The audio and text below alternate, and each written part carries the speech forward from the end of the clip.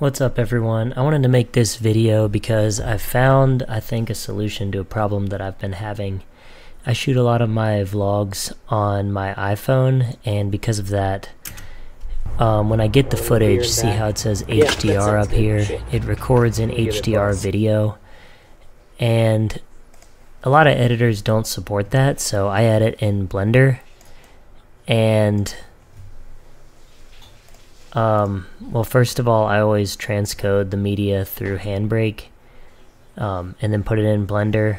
But we'll just we'll just I'll just show you what the problem is. Um, if you put a HDR video in Blender, it looks really washed out like that. Um, so look at those yeah, colors.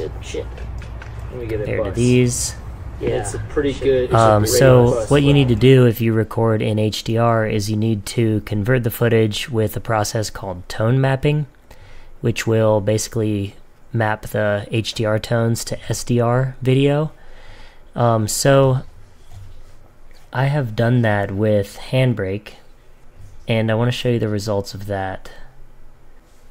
So here's what it looks like coming out of Handbrake. Um, it looks okay. Um, it definitely looks better than the the like muted colors straight in the editor. I'll actually just put the handbrake version in here as well.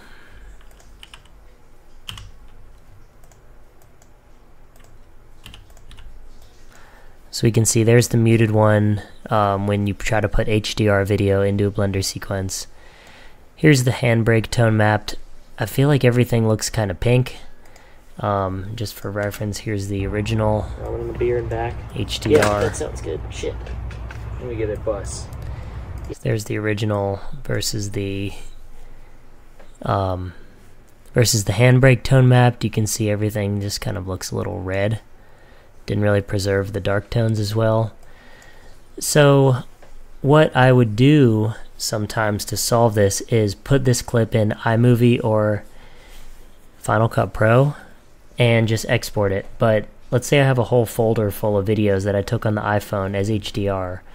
Um, Handbrake has the capability to batch process folders. Um, but it looks like this, so that's kind of the trade-off I'm getting.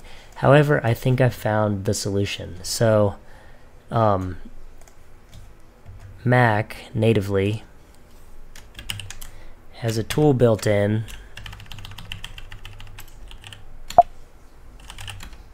called AV Convert. clear that.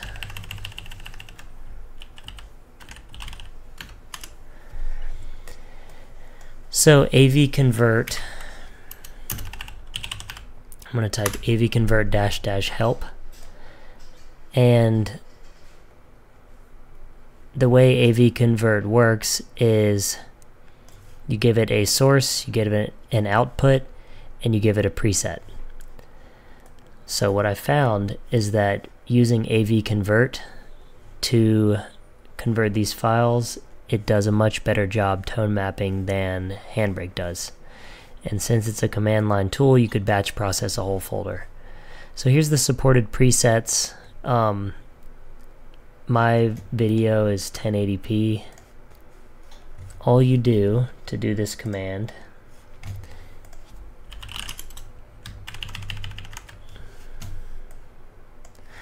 is type, just going to clean up my screen here, AV convert dash dash preset. And the preset I'm going to use here is this one. Preset Apple M4V 1080p HD. And then you give it the source. Source and I'm just gonna drag and drop this MOV file. This was the this is the HDR video. See, it's got the HDR logo up there. And then we give it an output. So dash dash output. I'm gonna drag that same file, but since this preset is an M4V, I'm gonna change the file extension to M4V. So I'll click enter and it's creating some temporary files So it's not instant, so I'm going to give it some time. Alright, so that took a couple minutes, but it just finished, and here's the result.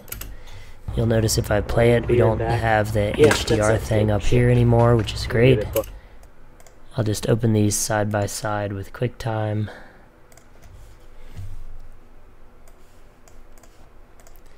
Remember our MOV file is the HDR, that's this one, and this is the um, tone mapped SDR.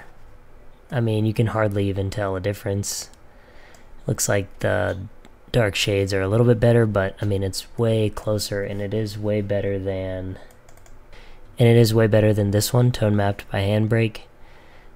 Um, it just looks a lot more red, so let's close it out and let's put it into Blender and see if it looks good.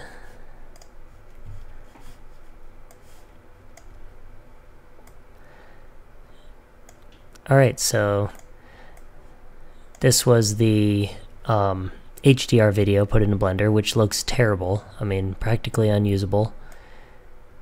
Here's our Apple AV Convert tone mapped. And here is the Handbrake tone mapped. So Handbrake tone mapped, kind of red. Apple tone mapped looks good.